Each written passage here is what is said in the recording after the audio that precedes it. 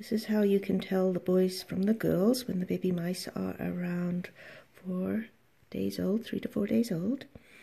Basically, the little females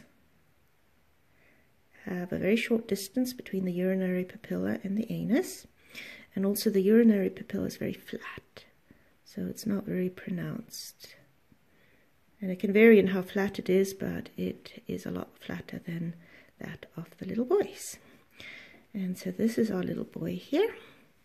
And with him, you can see that the distance between his urinary papilla and his anus is a lot longer than the little girl.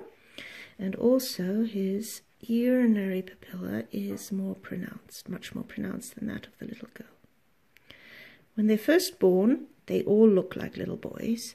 And the reason for that is because the amniotic fluid makes everything swell. And then it takes a few days for the swelling to go down.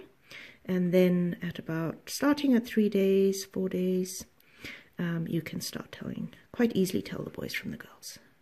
Little boy, pronounced urinary papilla, longer distance between anus and urinary papilla. Little girl, very flat urinary papilla, much smaller, and a much shorter distance. So it's not hard to tell them apart once they get to three, four, five days old.